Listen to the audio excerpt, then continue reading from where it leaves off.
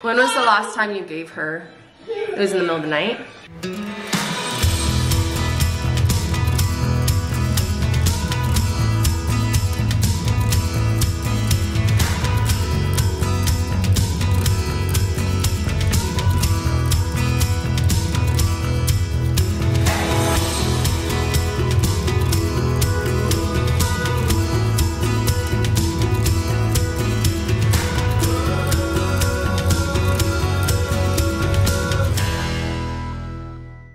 Morning, everybody. Not good morning because it is far from it in this household, honestly. I was hoping by the time I picked up the camera again that we would all be better and things would be back to normal, but unfortunately that is not the case. We are going on an entire week of this sickness in our house. What we originally thought to be the stomach bug because there was throwing up involved for three out of the four kiddos, I've come to realize is not the stomach bug, it was just one of the symptoms of whatever this is, whether it be the flu or just an incredibly bad um, respiratory illness. Surprisingly, the person that has hit the hardest with this is Emma, and she has been the first one that got symptoms, and she is still the one that is experiencing the worst symptoms out of all of us.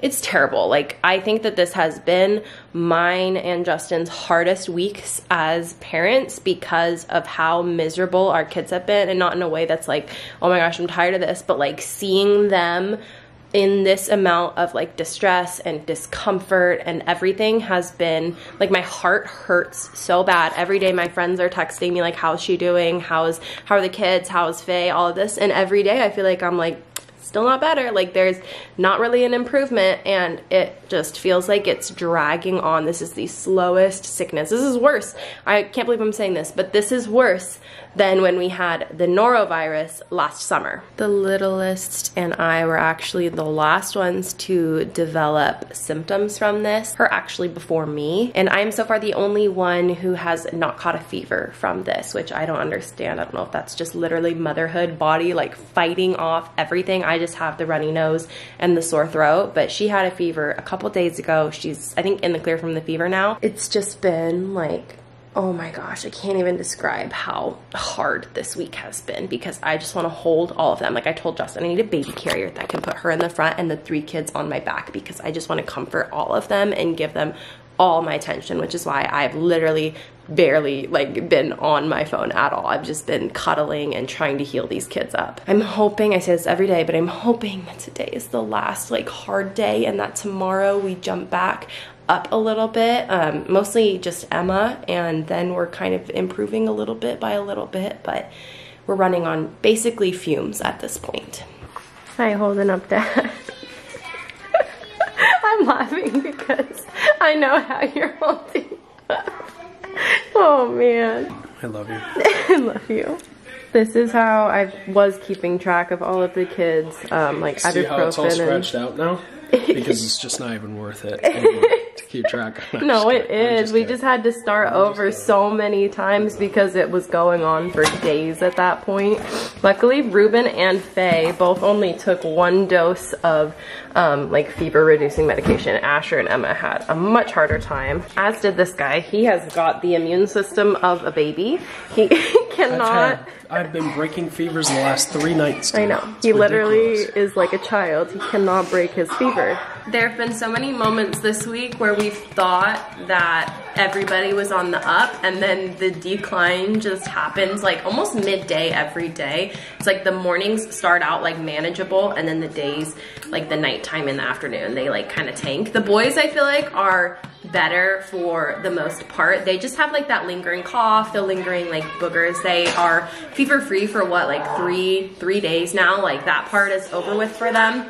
Like I said, Emma's having the hardest time. Now Faye has the boogers coming out. So I just did like a Target drive up order on my phone because obviously I don't want to go see anybody in the store or interact with anybody. Got some saline mist, got some more tissues, just like all of the necessities. I know whoever does that order is gonna be like, oh my gosh, this person is sick. So I'm just gonna pop the trunk for them and let them stick it in and I'll even wear a mask just while I'm in the car just so that they feel fine. But yeah, it's it's just gonna be, it's just gonna be, an, it's literally been a week, you guys. It's hard. Emma seems, I, I don't wanna jinx it. Emma seems to be doing better this morning, not fevering high. Like her fever's at like 99, which I don't even know if that's considered a fever. But um, she's she seems to be picking up like a little bit. When was the last time you gave her? It was in the middle of the night? Or no, it was before bed. So she hasn't had anything since yesterday at 6.30. That's what I wrote down, yeah. 6.30 yesterday and Justin just checked and she still doesn't have a fever, so. This is me praying, crossing my fingers, crossing literally everything, just that we are gonna get better. I've even gone so far as putting bowls of raw onions by the kids' beds when they're sleeping. Well, they've got the humidifier too. Because I read somewhere that they like soak up the toxins or whatever, but I don't think that it's helping, sadly. Okay, we're not gonna talk about the way that I look right now because I know it's not good. That has been the least of my priorities this week. But I wanted to give you guys a heads up on a couple things because I actually just got a message from our pediatrician's office when we were like three days into this illness that there's this huge surge of the flu, COVID, any sort of like respiratory illnesses going around right now. Like it is everywhere. The pediatrician's office doesn't want to see you unless they absolutely need to type of thing. So it's it's bad right now. So I wanted to give you guys a couple of things that have been helping us at least during this time. Like nothing has gotten us better completely, but things that have helped us get through this week that I would 100% like to restock in the pantry for the rest of this winter in case something comes up again. Like I need to revamp our cold and flu season kit because I realized I was unprepared when Emma came home sick. I'm, I'm just guessing she picked this up at school because that's typically where sickness comes into the household. We don't really do much outside of school. I mean, there's a possibility they like pick it up at a park or something like that, but unlikely. Anyways, these are things that have saved us this last week that I would 100% buy again and will be stocking up on for the rest of the winter. First, there's the obvious things, Tylenol and Motrin. So you want both of those in your pantry, like stocked, especially when you have multiple kids. Like you go through it pretty quickly, as you guys saw in our fridge. Um, we have the children's Motrin. We have regular Tylenol. I think they make infants Tylenol, but I'm pretty sure they're the same thing. Don't quote me on that. There was like this big lawsuit about it. Um, so Tylenol and Motrin. If they have a cough, like our kids have gotten this cough that's been really hard at nighttime, something that really helps is honey. You can't do like cough suppressants at this young of an age. I think it might be if like you're like six and older.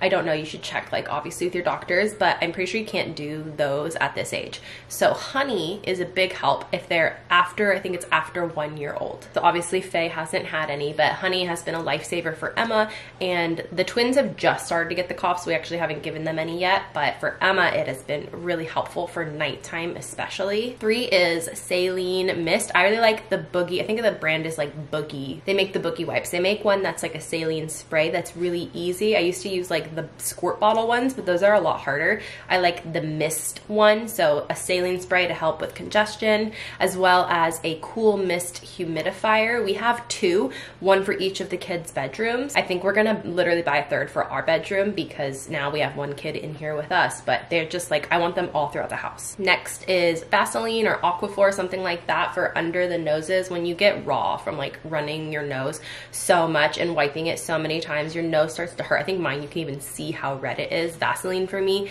is a huge helper as well as Burt's Bees chapstick. We just like the regular one, but for your lips is a big helper. Next is a really good working thermometer. We have a forehead thermometer. I am honestly not the biggest fan of it. I feel like it kind of jumps around. We've tried the ear thermometers as well, and I feel like it did the same thing. Um, I'm much more of a fan of just the regular thermometer. I know that those are harder with like wiggly toddlers, etc., but I feel like they're more accurate um, if you use just like a regular thermometer. But if yours works good and you trust it, then just pick the one that you have. I'm just saying, I think that the cheapo regular thermometers work the best. And then just the regular stuff, like I think um, Frida Mom makes a couple of like Vapo rub type things that I would like to restock on as well. So those are like my definite, you need to have these and restock these and have them plenty on hand. Just wanted to give a heads up because I guarantee a lot of you guys are probably either going through the same thing right now because I got a lot of your DMs on Instagram or are about to because it is a rough time of year. But with that being said, I'm going to try and get some rest. Emma's taking a nap right now, which thank God she she needs so much rest. Faye's taking a nap. I wish the boys would take a nap. They've taken random naps this whole week. Like they will just fall asleep in the middle of the day on the floor or on the couch.